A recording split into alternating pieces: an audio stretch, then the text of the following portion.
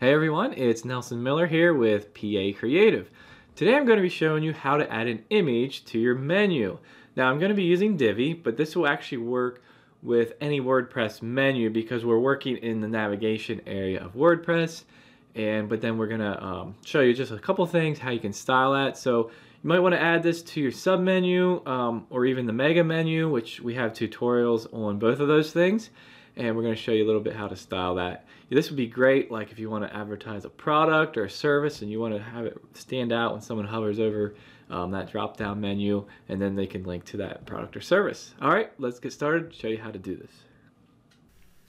Okay, so if you're watching this on YouTube, there's going to be a link in the description down below. You're going to want to check that out to go over to the blog post that you're seeing here because we're going to be um, having some code that you're going to be copying and then at the end we're going to have some snippets. So you want to at least have that open in another tab.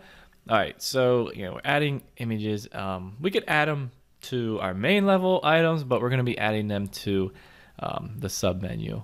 And we're going to start I actually have a demo here. I have um, just a menu module set up right here and then I have the navigation here. So it's really just I just threw in some stuff here for our example and we're going to start with creating a custom link. Now, you could just use a page because think about that image in your in your sub menu and if you want someone to be able to click on it and go to a page, well then you're going to want to add that page. Like if I want people to go to the services page, well then I'm going to be working with that.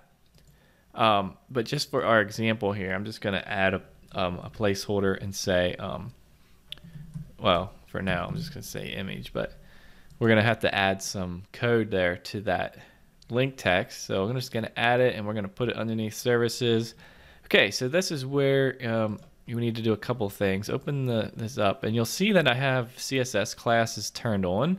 We're going to need that. Um, we don't need it quite yet, but when we style it. So you're going to want to find that under screen options, this nifty little toggle here at the top and make sure that CSS classes is on like I said, we don't need that right now, but we're gonna want we're gonna want that. So if you see that um, and yours looks different, that's why because I have that on. Okay, so back in the tutorial, um, I have this code right here. So let's copy that. All right, and that we're actually gonna put it in the um, what do they call the um, label, the navigation label here where I wrote image. So let's just paste that in there. And obviously you can see that it says source equals insert image URL here. Well, we know that that's not the actual link. That's where we want to put a link. So let's go over to our media library and grab an image that we want to use.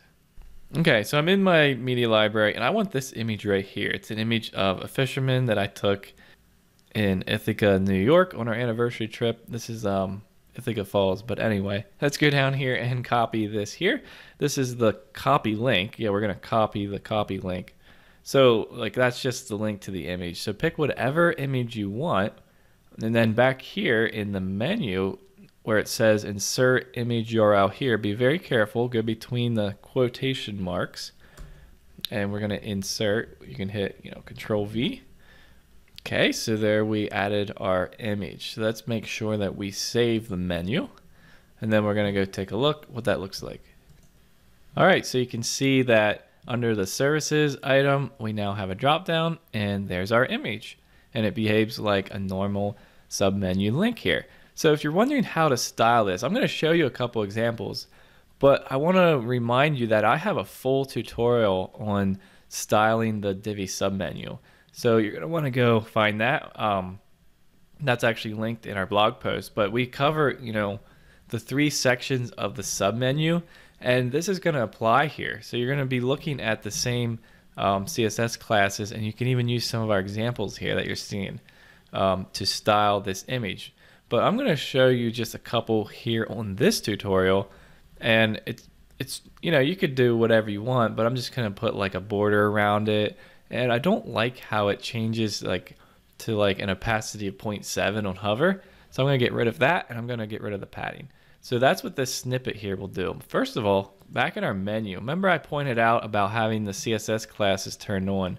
We're going to put a class in here and style it, target that. So I'm using this one here, PA menu image. So copy that and put it into your menu item. And then be sure to save the menu. And then once we go to our page, we can add um, this whole snippet here. Let's copy that. And then let's go back to where we have our menu and um, we'll be sure to refresh because we've added, um, updated the menu. So let's update that. So remember the image is square and it has the padding around it. It has that uh, fade effect on hover. So let's go over, um, I'm actually going to go to theme options this time, paste our code in there. This is under Divi theme options, the custom CSS box, and that's going to apply this um, if we have that menu anywhere on our website. So again, it's taking the border radius, making it rounded, getting rid of the padding, and then getting rid of that change of opacity on hover. So let's save that, and then we'll go take a look of the effect that we did to that image. Okay, here we go. All right, so you can see there's no more padding around it. And when I hover over it, doesn't do that change of opacity and we have a rounded border. And again, you could, you know, remember to link this to whatever page you want. Like you could have a product here, um, maybe a featured service that you want to advertise here, like under services, like one of your main things and it's kind of like a little billboard right under here in your menu and then you could add you know more menu normal menu items below this so okay so that's how you add an image to your WordPress menu. If you like that be sure to subscribe. We have lots of tutorials planned. Um, I think at any given point we have in like 35 drafts that are waiting to be published. So be sure to subscribe and that's the kind of tutorials that you'll be getting. All right, well, hope you've enjoyed this. We'll see you guys in the next video.